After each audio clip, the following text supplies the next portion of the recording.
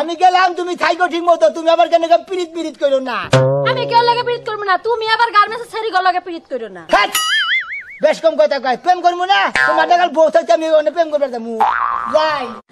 কাজী যখন বিয়ে পড়াইতেছিল দিনমোহর যখন বলছে বিশ লাখ টাকা তখন তোর কান কইছিল। কান কানের জায়গায় আছিল।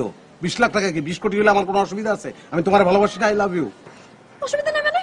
এখন ছাড়াছাড়ি হলে টাকা দিবি থেকে টাকা দেবো কেন? আমি তো ছাড়ুমি না তোমারে। মামা একটা একশো টাকা দেন তো।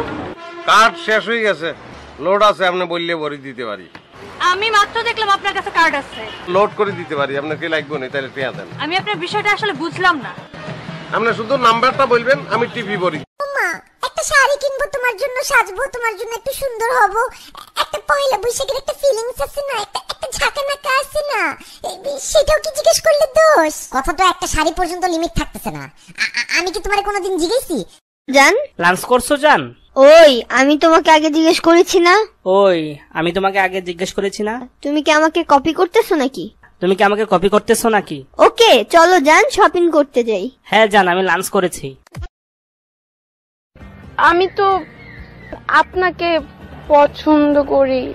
আপু বোন রে তুই মাত্র নার্সারি একটা ছোট বাচ্চা কিউট একটা মেয়ে।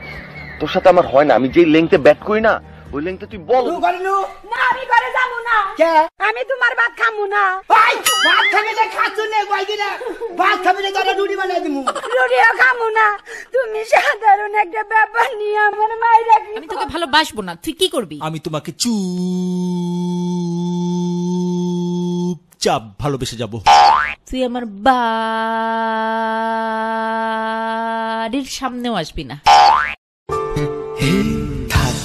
হবে তোমায় ছাড়া কথা ছিল না।